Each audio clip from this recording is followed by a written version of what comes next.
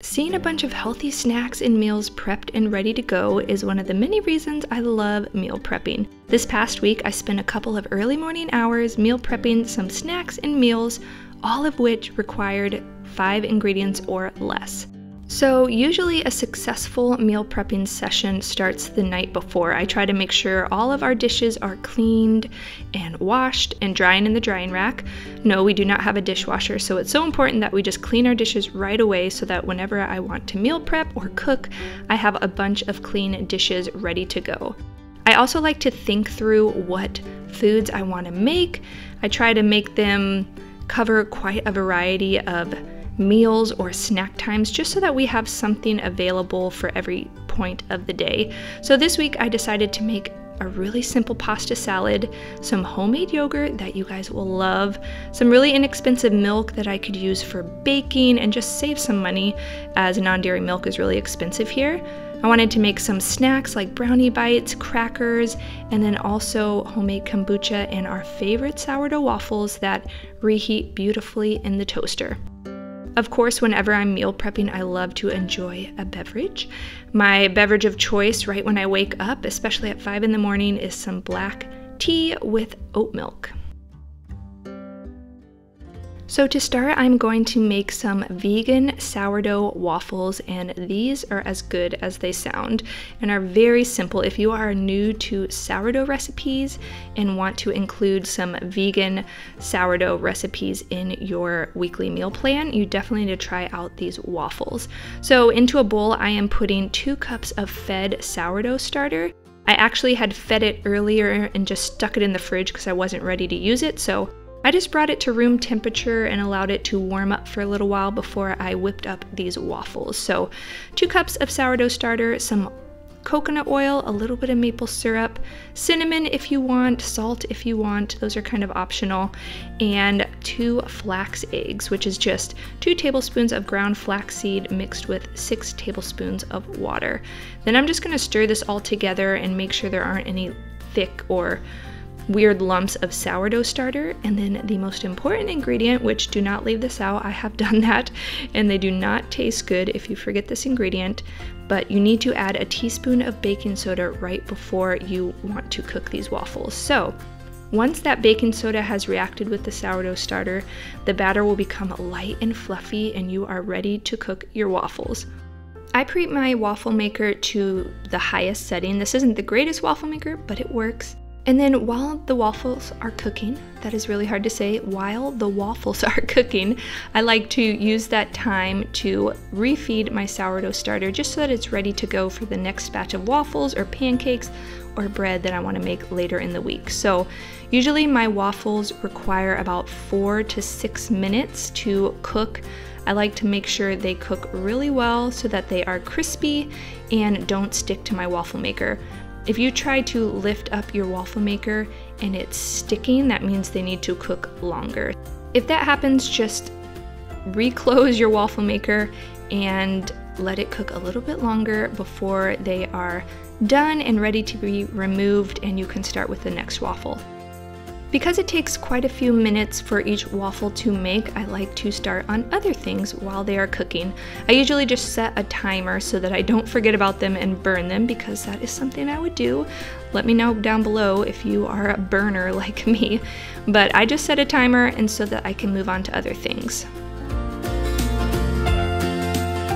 But at the end of the process, you should have about four to six Belgian waffle sized sourdough vegan waffles that the whole family will love. So while the waffles were cooking, I started on some homemade kombucha. If this scares you, don't be scared. It is the easiest and most inexpensive way to make kombucha. All I do is put bags of black tea into some boiling water, let them steep for about five to six minutes, Add some sugar so that you have this really strong sweet tea basically. And then once your sugar is dissolved, I pour this into a large one gallon or two gallon jar And then I just add purified water almost to the top, basically to dilute it. And then you're gonna wanna let this tea cool until it comes to room temperature and isn't too hot to add your SCOBY. If you're interested in this, I will leave the directions and all the measurements down below because it is so easy. While my kombucha tea was cooling, I decided to start on some two ingredient coconut milk yogurt. So I put about two cups of thick full fat coconut cream, or you could use full fat coconut milk, into a jar. And then I'm adding two probiotic capsules, stirring it with a wooden spoon, and you're done. All you have to do is let this sit on the counter for about a day or two, depending on the temperature of your house, and you will have the thickest, most delicious yogurt. Another thing I wanted to try that I had seen recently was to make my own coconut milk.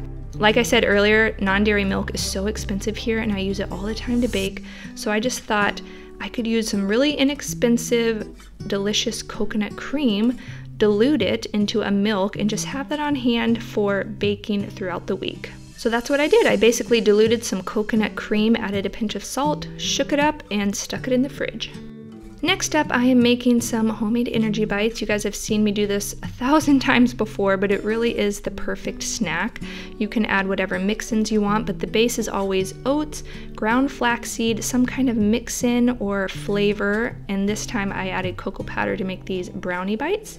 Then you need a nut butter and a liquid sweetener of choice. So this time I used tahini and some honey. If you don't want to use honey, you could use brown rice syrup, agave, maple syrup, whatever you want.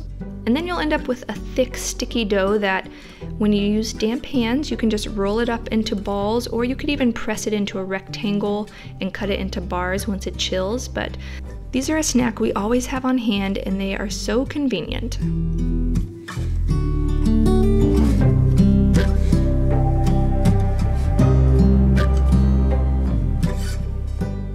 By this point, my sweet tea has come to room temperature and I'm going to add one cup of the kombucha from my last batch, as well as something called the mother or the SCOBY.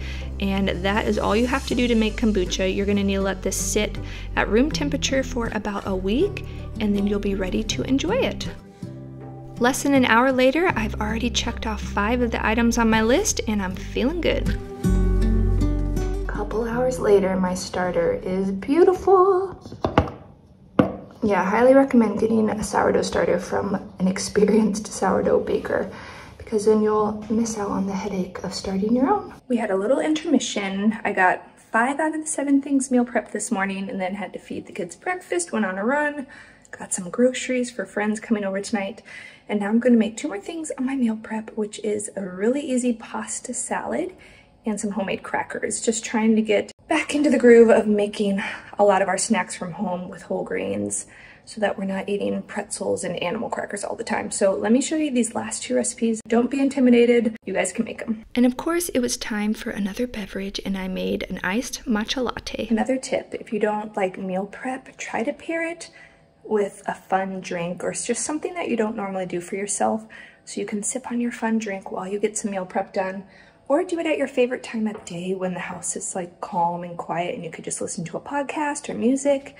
Um, that makes me really look forward to meal prepping. The next recipe requires four ingredients, one of which is on my balcony, but you just want about um, eight ounces of pasta. And then this I wish was a bruschetta, specifically Trader Joe's bruschetta, but I don't have access to that. And I could not, not find bruschetta at the store. So we are going to make some sun-dried tomatoes and the olive oil that they are soaked in work. And then you're gonna need some white beans and then some fresh basil, which I will pick right before serving this pasta salad. And you could add vegan feta, you could add basically anything you like with this kind of combo, whether that's spinach or kale. Normally this would be a tomato bruschetta, but this is a super simple recipe I will link to down below. So to start this four ingredient pasta salad, I am going to cook my pasta in some salted water. And while that's cooking, I'm going to move on to my homemade crackers. So I'm preheating my oven to about what would that be, 450 Fahrenheit, and into a large mixing bowl, I am adding some whole wheat flour, some salt, and some sesame seeds. And then I'm gonna put in just a couple tablespoons of olive oil and water until I have a dough. I always start with just about a half a cup of water whenever I'm making these crackers because I can always add more and I prefer not to add too much more flour if possible. So as soon as I have a dough form, I stop adding water and that is basically the base of these crackers. I cut my dough in half and I'm just using a rolling pin and my top tip is to roll it out on a silicone baking mat because it allows you to get your crackers really thin. And once I've got a really thin layer, I'm going to sprinkle on some sea salt and then I roll that sea salt into the dough so that it sticks. And then you'll have to just score your dough in whatever shape you want, and then you will pop those into the oven. And here I'm taking a little break to drain and rinse my pasta. But you're going to put your crackers into the oven and you will want them to bake for about 10 to 15 minutes, watching them very closely towards the end so that they don't burn. It really depends on how thin you roll them and your oven temperature. Sometimes I remove the outer crackers and allow the center ones to cook a little bit longer, but that's all you really have to do to make crackers. Once my pasta is drained and rinsed, you're gonna normally add just a delicious jar of bruschetta, your white beans, and fresh basil. And that's all you have to do to make this pasta salad. It's so delicious. But because I didn't have a good quality jar of bruschetta, I just improvised and used the olive oil and the sun-dried tomatoes from the store-bought jar of sun-dried tomatoes, added in some balsamic vinegar, lots of salt and pepper, and it ended up being delicious. My friends loved it. And of course, I also added some fresh basil from my beautiful basil plant that is thriving, which makes me so excited because normally I can't grow anything. I'm so proud of this basil, you guys. I have a black thumb, but it is thriving.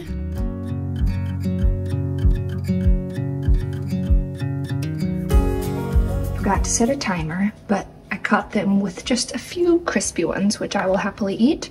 So these will get crunchy as they cool. And once they're completely cool, you can break them apart and they are ready to enjoy with hummus or whatever dip you like with crackers. I used to make these crackers all the time when we lived in China and all my friends and family loved them, so it was fun to make them again. Mmm. Haven't made these in so long. They're so good. Definitely put lots of salt on top. And at this point, I was done. All right, another successful meal prep is finished. Obviously, some of these things take a little while, but they're so nice to have on hand if as long as I keep them going, so I always have stock. Like kombucha, this makes about three, four liters, and it costs me about two bucks, so that's amazing if you can find a mother from a friend. Kombucha, got pasta salad that I'm gonna chill in the fridge, add more basil, and you can always doctor this up however you want. Coconut yogurt will be ready tomorrow probably, especially because it's warm here in my house. There are barely any waffles left, but um, those can be toasted and enjoyed tomorrow. Have another sheet of crackers in my other kitchen. So got lots of crackers to enjoy and our energy bites. So lots of snacks, some meals, and yeah, this will just be so nice to have prepped and ready to go.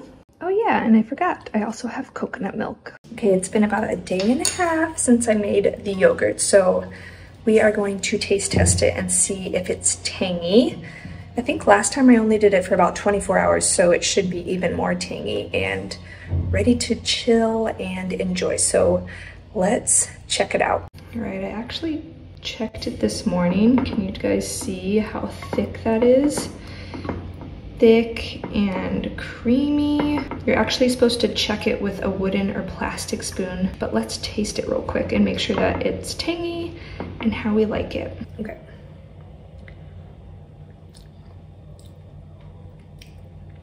Mm, it's so good. It tastes sweet already, mainly because coconut milk is sweet. It's so good. I could let it go a little longer but I think it's perfect for how my kids would like it. So we're gonna chill it. I might actually make a couple parfaits just with some frozen fruit that we could add granola to, and that would be a quick, healthy whole food snack that my kids would enjoy. So let's whip up some parfaits and put the rest in the fridge. For some reason, the combination of frozen fruit that you let thaw with yogurt reminds me of McDonald's yogurt parfaits, which who knows if they sell that anymore. I haven't been in ages, but wow, these are stunning. With some of the granola I made yesterday, I made olive oil granola. That will taste amazing on this, so yay, yum. A week after I made the kombucha, it was ready to taste test and see if it was ready. I usually go about seven days and it is perfect. And this batch was yet again delicious. So that is a good batch, my friends. So many bubbles. As you can see, I strain it as I bottle it up just to keep bits of SCOBY out of the jars. So making kombucha really is as easy as that. These four um, jars probably cost me about two, three dollars versus maybe 30 to 40 dollars if I bought them from the store. So highly recommend getting a mother or a SCOBY from a friend and trying this out. It just requires tea bags, sugar, water, and your starter, your SCOBY. So yay, kombucha. If you want to recreate any of these recipes, they will all be linked down below. And if you want to check out my last 5 a.m. meal prep video, be sure to check it out here.